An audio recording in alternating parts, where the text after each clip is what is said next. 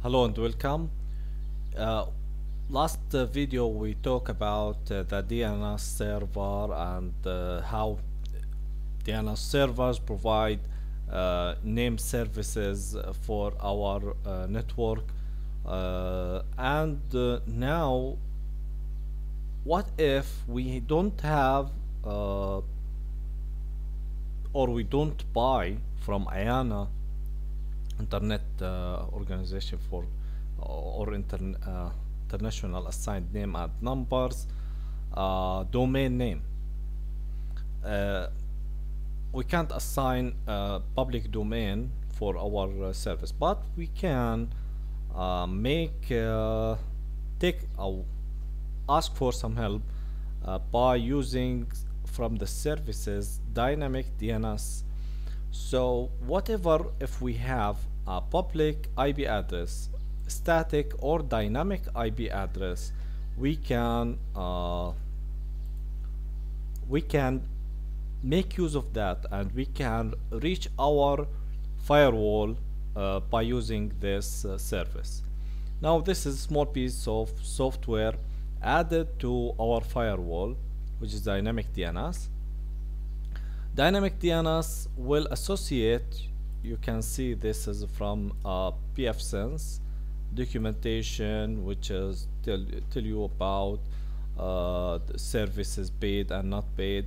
Now they they are not listing uh, here uh, no IP uh, I use noip.com really. It's fast uh, uh, the you you need to, to make it to you need the, this thing to be so fast. So you can just sign up and uh, then you can register uh, an, uh, uh, a host. And you then go uh, to your uh, this is just only example. So let's say we need to free no IP we need host name like uh, one hour networking dot uh, no IP dot com. Uh, and then you will if you you don't need this enable wildcard verbose now what is your your username uh, you can provide username or uh, some of the site provide you uh, needs uh, your uh, uh, um, sorry needs your your email address your mail your mail account. So it's like you at uh, email.com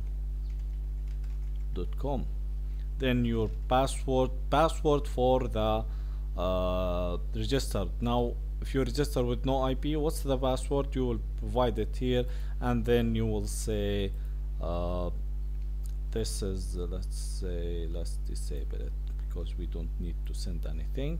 Uh, this is the password and then you will say this is the description this is the dynamic uh, DNS record.